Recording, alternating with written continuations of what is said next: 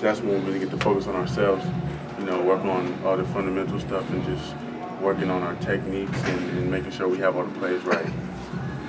N'Keal, what keyed the turnaround? You won five of your last seven games. What were some of the main factors? Um, I think it's the way we approach practice. You know, um, midway through the season, we started to get banged up a little bit. Um, not too many bad injuries, but you know, midway through that season, towards the, the end of the season, your body starts to feel it, and you know, it's it's, it's really a mental thing. You got to go to practice and, and be prepared for that.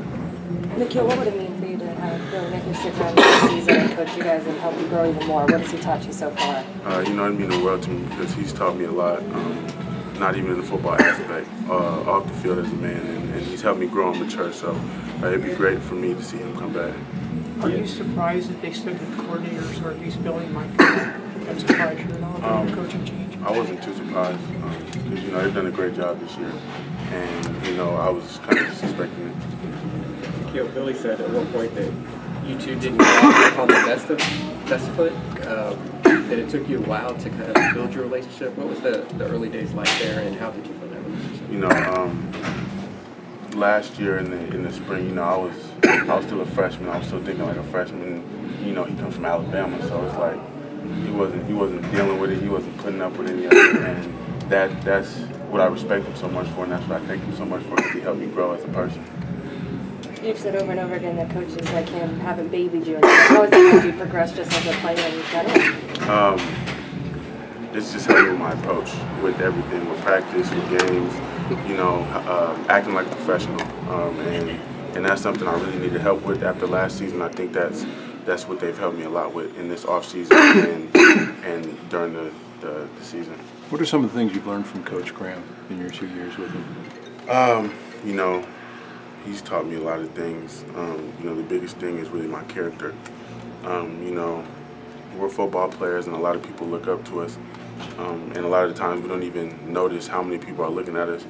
And he's really taught me to carry myself in a manner that my grandmother would like me to act, uh, my teammates would like me to act, and, and just as a person going forward in, in my life. Mm -hmm. Sometimes when there's a coaching change, teams don't necessarily play too well in a bowl game. Do you think this team, you know, just either for Todd or just generally will have the proper motivation? You know, I, I think we're all motivated. Um, regardless of what's going on with the with the coaching situation, uh, we all want to win.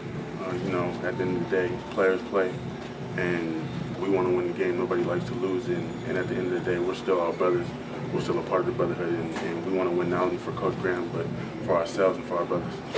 What was the feeling like winning the Territorial Cup game last week for you? Um, it was like a dream come true. You know, I've been watching that game since I was a freshman, ever since I started getting recruited, and um, especially being from Arizona. Um, it was great to win that game, especially after last year.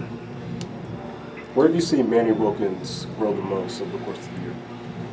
Mm, how poised he is, you know, how well he deals with backlash.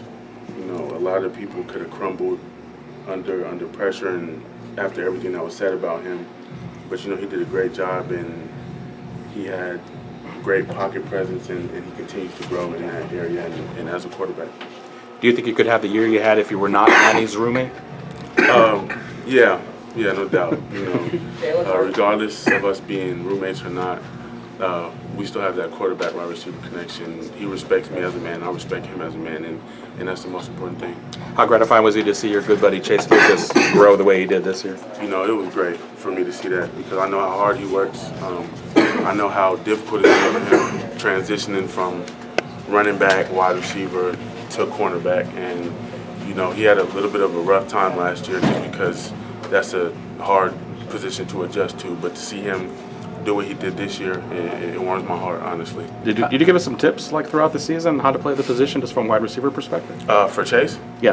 Um, uh, I didn't really give him any tips. It was just really like us going at it. You know, um, a lot of people think I made him a great corner and I helped him a lot, but at the end of the day, he helped me a lot too. You know, he's a great athlete, and at the end of the day, um, he pushed me every day because, you know, us being brothers and being so competitive, nobody wants to lose that matchup. So we've helped each other tremendously, um, not only in college but in high school too. And I credit a lot of my success to him pushing me and and helping me become the player that, that I want to become. What did it mean to cross the thousand yard threshold, or at least get there?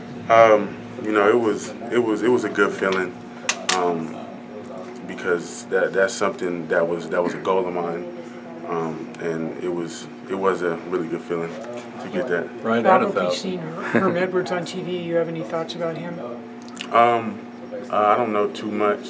You know, he was my coach in the in the Under Armour game, and and um, I didn't really get to talk to him too much because there was so much going on during that week.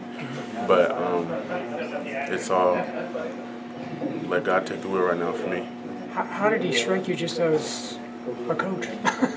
Um, you know, um, I'm not trying to think about that aspect too much right now. I'm just trying to focus on my game and focus on the ball game and, and, and that moving forward. And I'll focus on that later when that time comes. One more question for N'Keal. N'Keal, I'm a, I'm a Perry guy. Any chance tomorrow state championship Perry pulls the upset? Um, you know, anything can happen in football, but you know I'm going my Wolves, 100%. All right, thank you. Appreciate it. Appreciate it.